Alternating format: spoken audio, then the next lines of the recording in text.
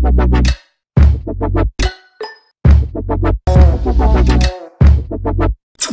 up mga dope? So, tuturuan ko kayo kung paano gumawa ng cover sa phone tulad nito.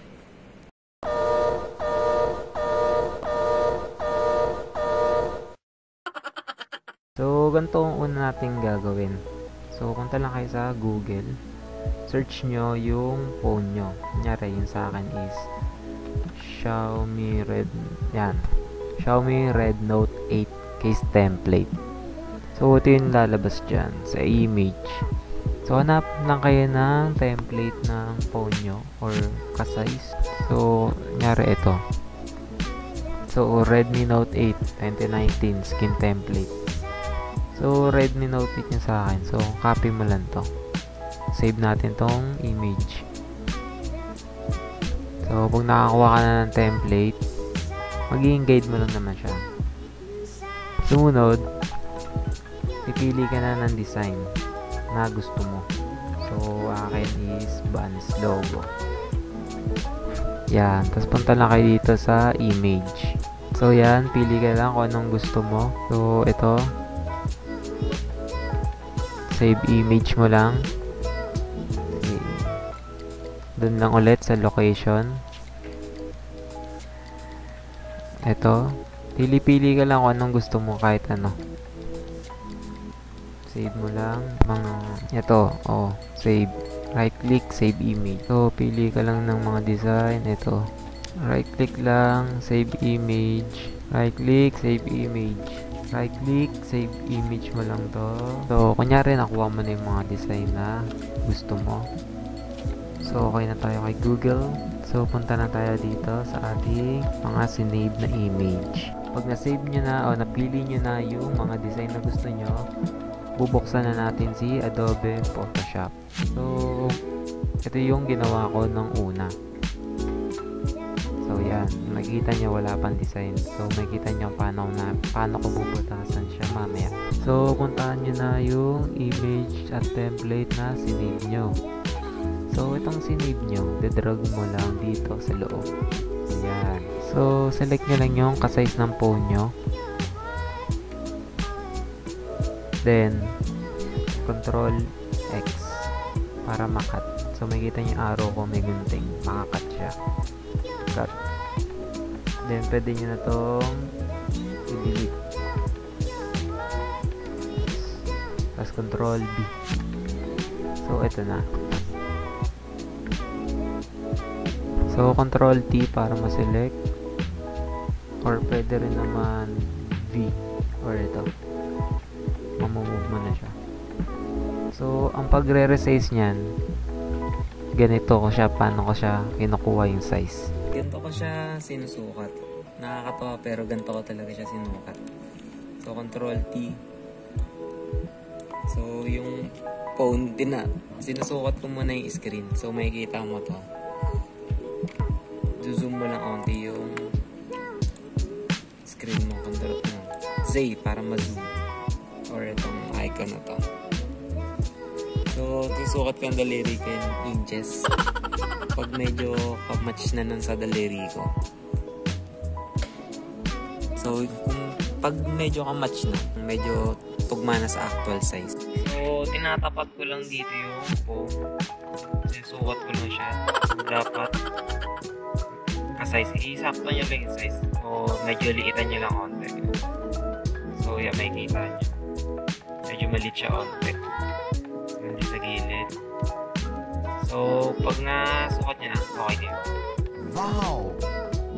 So, pag na-resize nyo na yung template ng phone nyo, puntahan nyo na yung image na sinave nyo.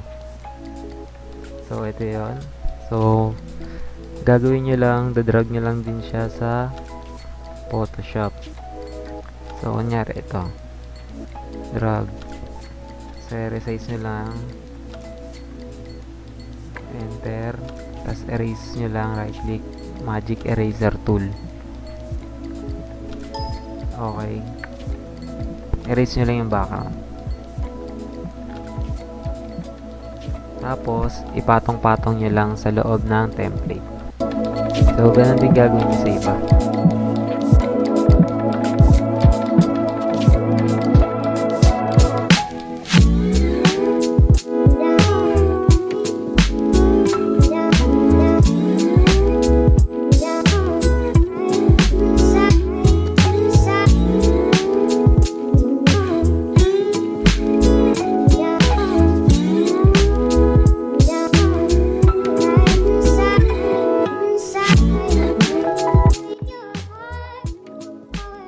So, pag napatong nyo na lahat sa template, iaangat nyo ngayon yung template nyo. So, ito yung template.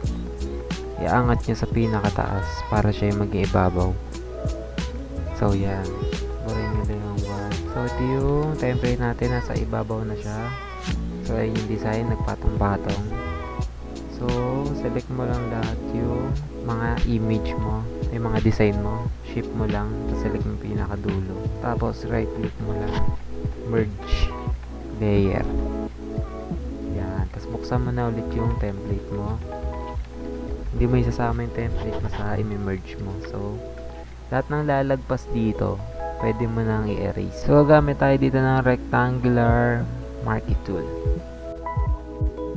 So, na-select mo, delete mo lang. Tapos sa kabila rin, ganun din.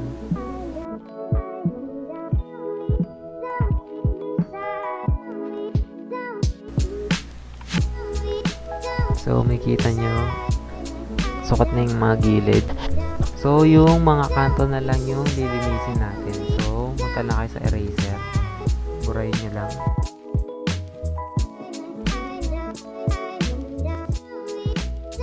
So, pag nabura nyo na yung mga kanto, pag tinanggal nyo yung template nyo, yun ang itsura ng inyong design. So, pwede nyo na siyang i-print. So, pag na-print nyo siya, ito na itsura niya. So, gugupitin nyo na lang siya sa mga gilid. So, ito na yun. Pag nagupit mo na siya. So, lalagay mo na siya sa jelly case nyo na clear.